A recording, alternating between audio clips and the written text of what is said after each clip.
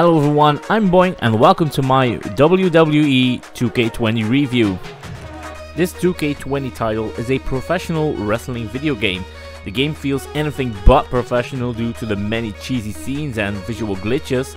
Or we could play my favorite lunchtime game, Guess What Mr. Bowman's Sweat Stains Look Like Today? I'm kinda seeing a heart shape, what do you think? See what I mean? Despite of that, it does succeed to bring a fun game experience that's set in the world of wrestling. The game is developed by Visual Concepts and published by 2K Sports back in October 2019. This is the 21st official wrestling game and the 7th released by 2K Sports. Anyway, you can play this title on Windows, PlayStation 4 and Xbox One. The title offers a lot of game modes to try out, but let's look at the main campaign first. In the My Career mode, you create two characters, the female and male lead of the story, called Red and Trevor. The character creation is pretty good, there are even some sort of classes and skills here. Customizing your wrestler is quite nice as well. There's a lot of options at the start and much visuals to unlock. While the main focus is on Red, you play a fair share of game time as your friend Trevor too. Red and Trey are best friends in high school and decide to take their chance at pro wrestling. You play as both and follow their story as they journey through the world of wrestling. Together they face a lot of ups and downs but you must survive a lot of cheesy conversations and visual glitches. But rest assured, the first few minutes of gameplay, you find out that Red and Trey completed their goal and became pro wrestlers. As both Red and Trey, or Trevor, or whatever nickname you decide to bestow upon them, you will face many challenges. Besides the cheesy and sometimes blunt, idiotic cutscenes, you also will face visual glitches. And trust me, it's bad. Really, really bad. However, I did enjoy the gameplay, somehow. I mean, the whole game feels goofy and anything but pro. Trevor made me laugh a few times and I can understand how some people care for Red's story. Or don't. So, as I said before, I had fun with this game. And I know people will wonder how. Well, honestly, I don't know. The game just entertains, I guess. Except when you face an enemy that seems unbeatable or needs to be defeated by almost impossible or probably bugged combos in order to move on with the story. So that's about it for the career mode. It's fun to create your avatars and really design the whole concept for your very own pro wrestlers. Beside my career, you can also check out the 4 Horsewoman. You can also play the Towers mode, which first saw light in the 2K19 version. This time, Roman Reigns is involved. Okay, so multiplayer is where this game really comes alive. As a personal lover on local multiplayer, I'm excited about this part. Hear me out. So yes, there's offline action here. You can take it up to 8 players in the ring, which is both amazing and full on chaos. You can also pick handicap mode, Royal Rumble and Tournament, or just create a custom match with your very own rules. Playing this in local multiplayer really gives a boost to the gameplay. Nothing really beats a good old wrestling match with buddies or a tag team with friends on the couch. Of course, you can head online and challenge other players around the world.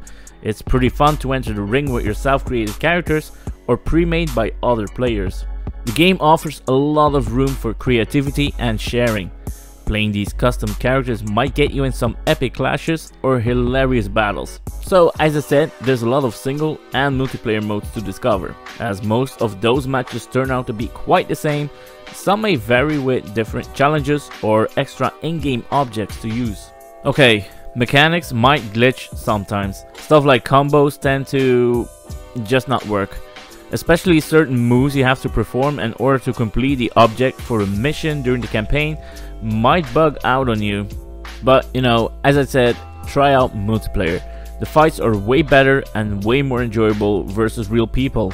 Seeing the creativity from the custom character only adds up to that experience. The soundtrack is alright, there's ambient sound and crowds cheering, which is nice. There's even fans holding up signs and posters with funny quotes or drawings and stuff like that. So yeah, every location does feel pretty alive. Okay, let's talk visuals, which sometimes feels like a disaster. Okay, I know you're probably thinking, come on Boing, it can't be that bad, can it? Well, yes, my faithful viewer, it can be that bad. While the overall graphics feel like a downgrade versus the previous title, I do agree it's still okay looking. I guess you could say it's a different animation, a different style maybe, although a lot of the fan base was hoping for improved realism on the visuals, and not a step backwards.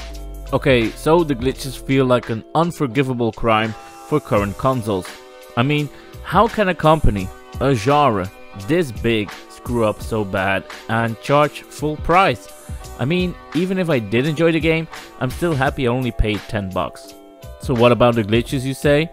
Well, they love messing with your character's hairstyle quite a lot, during cutscenes, gameplay and so on. Beside hair, you could notice missing limbs or serious downgrades. While it didn't bother me that much in terms of gameplay, it just annoyed me knowing this still happens today in the game series this big. Beside defining your character with skill points or talents and making it a little bit different from one another, there's also another very good feature about this game. Character creation and customization.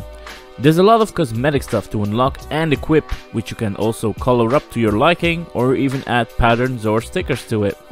Sharing your creations is pretty easy, and so is downloading pre-made by other players. It's a nice feature and a big plus to the game. At the end of the day, there's quite a lot to say about WWE 2K20, but I won't say it's bad, and it's not good either. I'd say it's entertaining for a while, I can see how true wrestling fans really enjoy this and as honest as I am, I had a good time despite all the bugs and glitches. Multiplayer and character creation really saved this game, as good as they can. Let me know what you think about this wrestling title in the comment section down below. I can't wait to read your comments and feedback. Thank you guys for watching and see you soon. Smash the like button if you like the video and consider subscribing if you haven't done so. You'd really help the channel out. Hit the notification bell to stay updated on future uploads and don't forget to check out these other videos you might enjoy. Thank you for watching and stay tuned for more multiplayer gaming right here at Boing.